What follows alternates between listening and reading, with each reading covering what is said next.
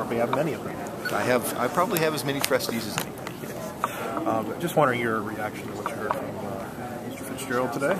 Well, I think it goes back to the same old old question. Um, it, it, depends on the local government. Um, townships, as a percentage of their budget that's made up of local government funds, are, are higher. Uh, they're in many cases tough situation. Uh, by contrast, uh, you know we've got cities and counties across the state uh, whose percentage of local government funds uh, are much, much smaller, and it makes a much smaller difference. If you do a 25% cut of somebody's 2% budget, it's not the same as, as the 18% the state did. Uh, the other interesting thing, uh, as I as I listened to uh, Mr. Fitzgerald, is I think uh, part of the discussion is just a difference in perspective. Um, you know, I think it's not necessarily a good thing that local governments have to come hat in hand to state government um, for funds. I would rather empower local governments to be successful uh, on their own and have local revenues support local governments because that's more stable, it's more predictable, and it's going to be a better long-term plan. And that's one of the reasons we have done things to try and uh, empower local governments.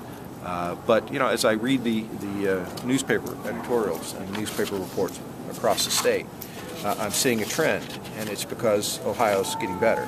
You know, as I look at the clippings uh, from Akron, from Lima, from Canton, from Cleveland, uh, the state of the mayor, the city has a banner year, University Heights, $2.2 million budget carry forward 2013. Um, they're doing better. Better still isn't good enough, but we're doing better. And in large part, we're doing better because of the steps we've taken to strengthen and improve the economy. Um, one of the things I, I, read through and heard from Mr. Fitzgerald was is that he would have supported tax increases. Uh, I don't think that's good that we raise taxes anywhere because tax increases hurt the ability for the private sector to grow and create jobs. The solution to Ohio is a healthy private sector and, and jobs. As jobs grow, uh, we're going to have additional revenues all across the state. We're going to have additional revenues certainly in um, local government. And, and frankly, uh, if we can lower state spending uh, and the need for additional state resources, I think everybody wins. During the campaign, I'm sure we're going to hear over and over again the fact that local government fund was cut, but we have record surplus. How, for the average citizen on the street, how do you explain explain that? Well, the local government fund was cut when we had an eight eight billion plus deficit, and uh, we put some money back into local government fund in this last budget. I think what people are calling a record, record surplus is the fully funding of the state's rainy day fund, our savings account, so that when the economic downturn occurs, and it will, I mean, the economics uh, run in cycles, that we have some money to mitigate a need to reduce services right off the top. But don't forget, most of state government is pass through money. We put over a billion dollars more for K 12 education in this last budget. That's significant. Uh, we put more money in for local governments in the last budget.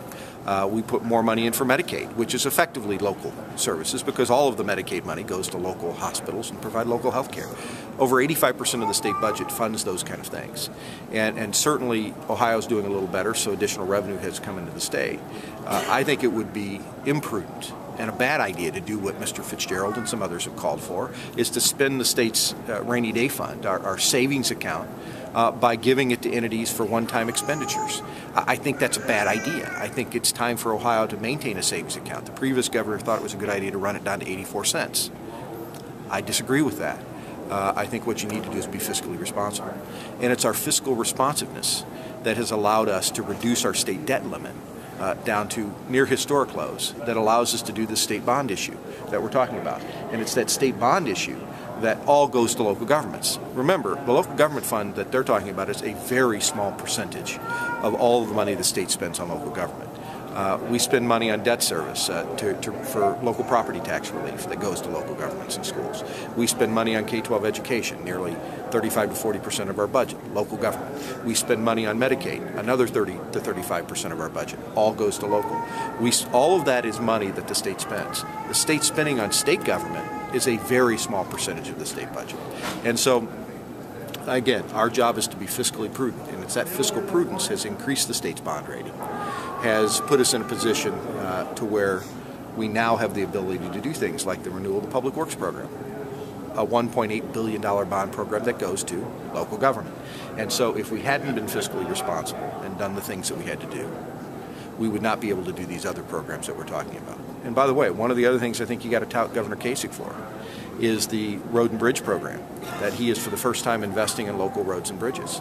Now, that's something that did happen before, um, and that is happening again because of the fiscal conservative way the state's being managed. And so, short answer to your question, there's a lot of things he said that I agree with. There's also a few things he said that I disagree with. Um, and uh, the big one is uh, I think we need to continue to improve the state's economy and grow jobs because by doing that, all of Ohio will benefit.